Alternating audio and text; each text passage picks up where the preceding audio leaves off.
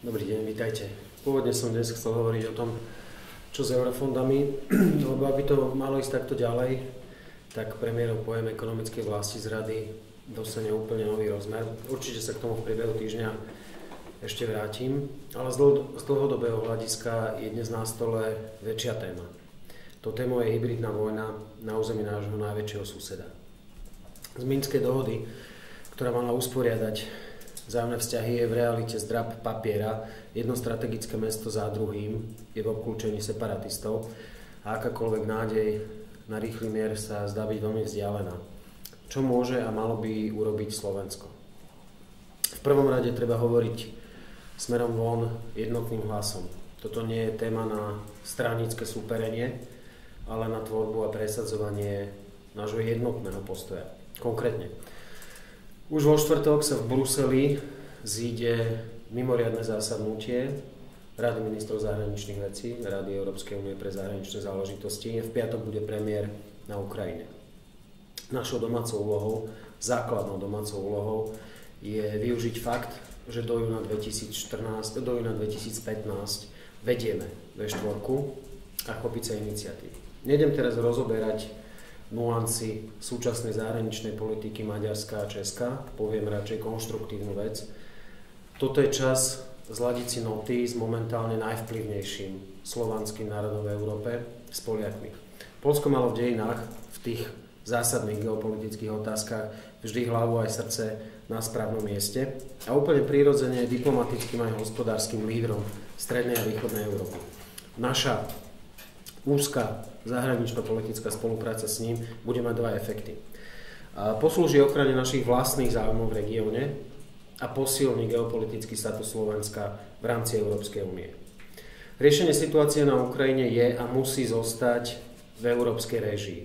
Akokoľvek nevhodne to môže znieť, tak je to pre Európu príležitosť preukázať schopnosť príjmať autonómne a zároveň efektívne riešenia zásadných bezpečnostných rozieb. Navyše, práve región Strednej a Východnej Európy, ktorý sa v minulosti viackrát stal arénou krvavého boja veľmocí, disponuje historickou skúsenosťou, ktorá kladie veľký otáznik pred prípadnú západniarskú politiku epizmentu.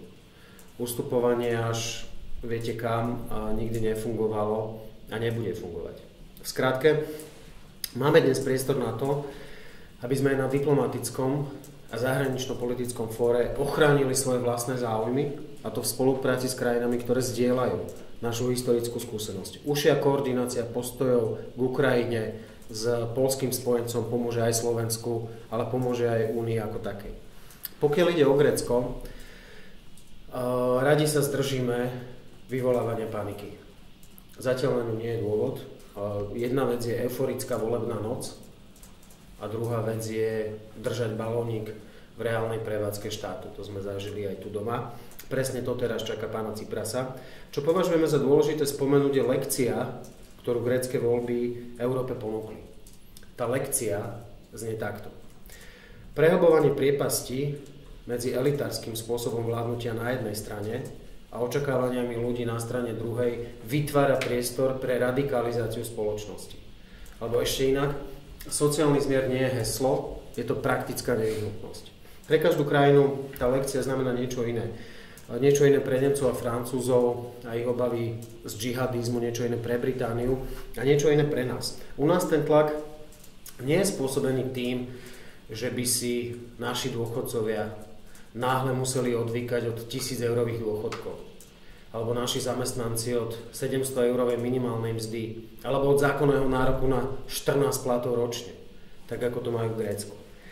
Je spôsobený tým, že súčasný stav drancovania spoločných peňazí je neudržateľný. A to, kvôli čomu Gréci niekoľko rokov protestujú, museli Slováci trpezlivo zvládnuť už od čias, keď sa konsolidovali slovenské banky na okor daňovníkov. To minimum odmeny, ktorú si za svoju trpezlivosť zaslúžia, je normálna, slušná správa ich daní v ich prospech. A viacero nedávnych udalostí aj ohľadom PPP projektov, alebo najmä PPP projektov v minulom týždni nasvedčuje tomu, že naša vláda sa poučiť nechce alebo nevie. Ale ak nechceme grécky scenár tu doma, tak stačí relatívne málo prestať z peňazí bežných ľudí živiť tých, ktorí to už naozaj nepotrebujú. Všetky tri aktuálne témy, eurofondy, Ukrajina, Grécko, tak spája spoločný motív. Áno, silnejšia Európa je nástrojom silnejšieho Slovenska, ale niektoré základné domáce úlohy musíme zvládnuť my sami. Veľmi pekne ďakujem.